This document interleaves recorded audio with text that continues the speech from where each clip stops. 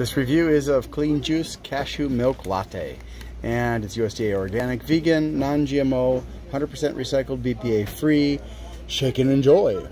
Um, since it's organic, it's, uh, it's also non-GMO. And I think that is pretty much it. Um, separation is natural, of course. Uh, let's see, one bottle has um, 13 grams of fat, of which two and a half are saturated, no cholesterol, 105 milligrams of sodium, 21 grams of carbs, of which one is dietary fiber, 12 grams of sugar, of which 10 are added, 5 grams of protein, and here are the ingredients. All right, let's try it out.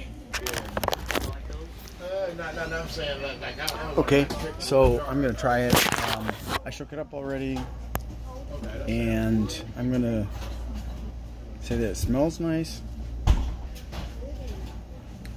I can taste the cinnamon, uh, not so much the vanilla, uh, but it's given there's 10 grams of sugar in here that are added.